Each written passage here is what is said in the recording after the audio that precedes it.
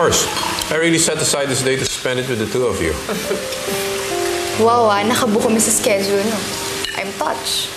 Clara? Joke lang. Wait, classes will be starting soon. So what are your plans this school year? Maging honor. Honor lang? Maging first honor. At next year po, pagka-graduate ko na high school, nagiging valedictorian ako. That's my girl. Ano po magiging reward ko pag naging valedictorian ako? You get good grades in school. You get a good education. Enter into a good university and have a bright future. That's your reward. That's it? Your dad is just joking. Of course, we will reward all your hard work. Thanks, ma. Hindi mo dapat binibigay lahat ng hinihingi ni Clara. Amante, hindi ba dapat bigyan naman natin ng reward yung bata kapag naging valedictorian siya? Malaking accomplishment yon. Ang iniisip ko nga, bigyan natin siya ng sarili niyang kotse. That's just too much, Alvira. Aanhin natin yung maraming pera kung hindi man lang natin magpasaya yung anak natin. Ayokong lumabas na pera lang ang nagpapaligaya kay Clara. Ayoko siyang lumaki na katulad ko. Lumaki ako mayaman. Spoiled. Lahat inuutos ko sa katulong. Kahit anong hingin ko, binibigay sa akin. Nung mawala si Papa, bumagsak ang negosyo namin. We lost everything. Mabuti na lang. Siniguro ni Papa na makapag-aral ako sa isang mahusay na eskwelahan. Dahil doon nakapagpatayo ako ng sarili kong negosyo. At sa pamilya natin, kaya ayoko lumaki spoiled si Clara.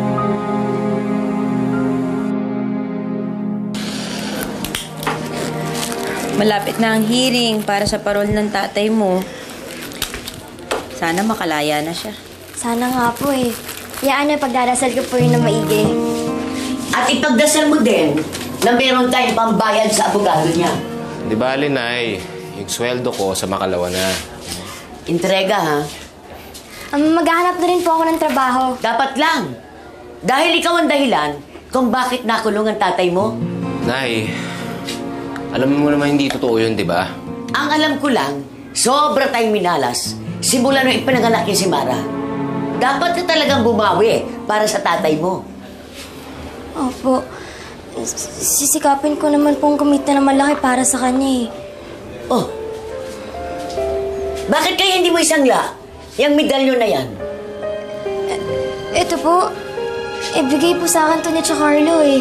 Nay, huwag mo nang pagbisikitahan ng medalyon ni Mara. Wala naman tayo masyado makukuha dyan eh. Sigurado ka? Mukha namang ginto. Peking ginto yan. Ako nga yung bumili, di ba?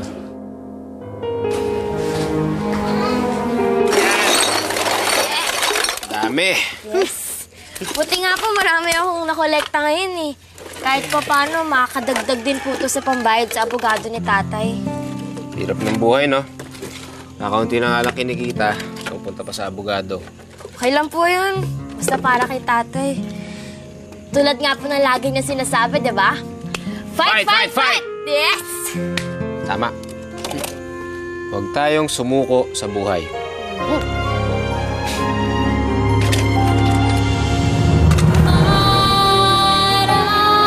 Medalyo na to.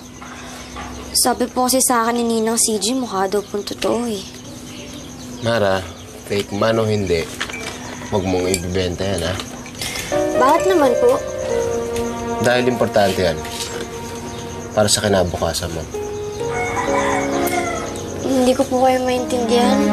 Basta, mangako ka lang, huwag mo iwawala yan, ha? Opo, Chong. Promise po yan. Sa ibang paraan na lang po ako hahanap ng pambayad sa abogado ni tatay. Bait-bait mo talagang bata. Kahit na ganun-ganun ka lang tratuhin ni Kuya Gary, no?